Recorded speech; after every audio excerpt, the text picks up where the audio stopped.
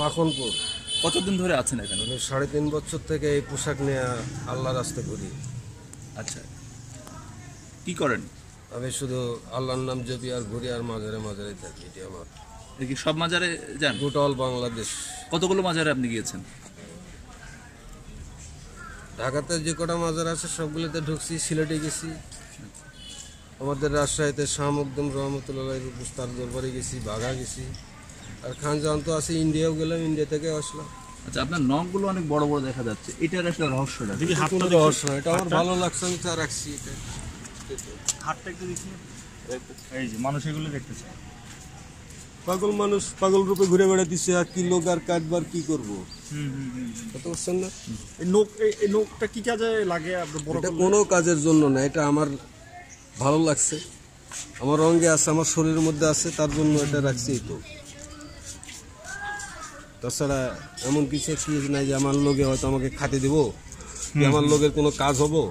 আমার একটা শরীরের অঙ্গে প্রত্যঙ্গে সম্ভব জায়গাতে আমার এই কেলে হয়তো রাখছি ভালো লাগছে। আচ্ছা এই যে আপনি মাজারে মাজারে ঘোরেন হ্যাঁ আপনার মনের মধ্যে কি অনুভব হয়? আমার মনের মধ্যে কি অনুভব হবে? আমি কাকুলে অনুভব করি না। আমি শুধু যাকে আমাকে সৃষ্টি করে পৃথিবীতে পাঠাইছে মায়ের গর্ভে তাকলে অনুভব করি। আমি কাকুলে অনুভব করি না। আর আমার কোনো প্রয়োজন হয় না। কারণ আমি তো আমি সেই মানুষ। পরকালের সম্পত্তির জন্য ঘটতেছি আমি পাপি। আমি তো দুনিয়াদারির জন্য না। তাহলে আমার আর কি কাকলে অনুভব করব আমি?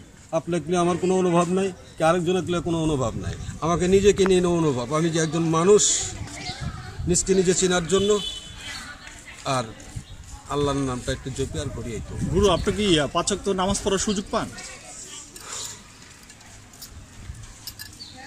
আপনাকে আর কি বলব, আর কি বলার মতো আর আমার আছে? এই তো যখন এই আপনারা যখন এটাই প্রশ্ন করেন, তখন আমার কাছে খুব খারাপ লাগে। আমি তিনুক্ত নামাজ পড়ি, আর বাদ বাকিটুকু তার নামের উপর স্মরণে থাকি। এই যে এসে আপনারা আমার আমাকে যে ছবি তোলাতে ডিস্টার্ব করলেন, এর জন্য আপনারা দায়ী। কারণ আমি তো কারোর সঙ্গে কথা বলি না। কারণ ভালো লাগলে কথা বলি, ভালো না লাগলে বলি না। কারণ আমি যার যার আমি দেওয়া না, যার যার আমি অনুসরণ নিয়ে সবসময় থাকি। তা আমাকে যদি একজন মানুষ এসে ডিস্টার্ব করে, তার জন্য দায়ী কে? বলেন, এই কথার উত্তর আপনারা দিবেন কে? দায়ী কে? আপনার সঙ্গে তো আমি চাইছে পরে কথা বলতে আসি নাই। আর আমার কোনো প্রয়োজনও হয় না কারণ না। আমার দরকার নাই তো। দুই অক্ত পড়েন না কোন দুই অক্ত এটা? আমি দুপুরে দুপুরে মানে কোনটা? জোর। আমি পড়ি রাত বারোটার সময়। আচ্ছা। উঠতে সন্ধ্যায়। আর সবসময় তার অনুসরণই থাকে। যার অনুসরণই থাকে তার কিছু লাগে না। না লাগে কিছু? আপনারা জ্ঞানী মানুষ একটু ভালো করে বলবেন।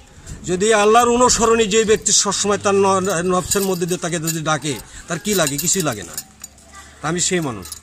আমি যার জন্য পাগল আমি যার জন্য দেও না আমি যার জন্য উদ্দেশ্য ঘুরতেছি আমার তো কোনো দুনিয়াদারির জন্য না।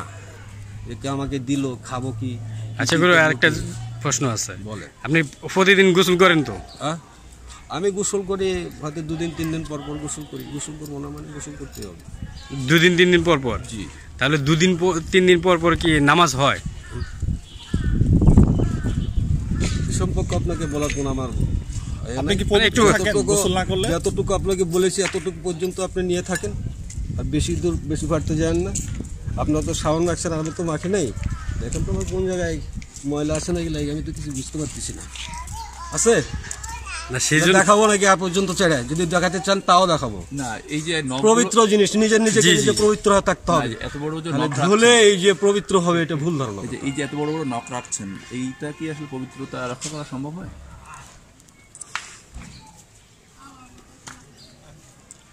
আপনাকে আগেও বলেছি যে আমার ব্যক্তিগত ব্যাপার আমার অঙ্গে প্রত্যঙ্গে আছে আপনার কাছে নাই। কি হবে না হবে ওটা আমি নিজেই জানব। আপনার তো যেন কোনো প্রয়োজন নেই। আছে।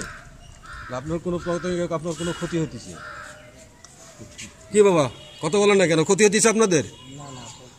তাহলে কেন? আমার যদি থাকে যদি আমার কাছে থাকে আমার যদি ক্ষতি না হয় আমার যদি অঙ্গের ক্ষতি না হয় তা আপনাদের তো কোনো মুখ আছে। ওরস হবে কতদিন পরে? পাগলের ছবি তোলেন মানে যে আপনাদের ক্ষতিকর।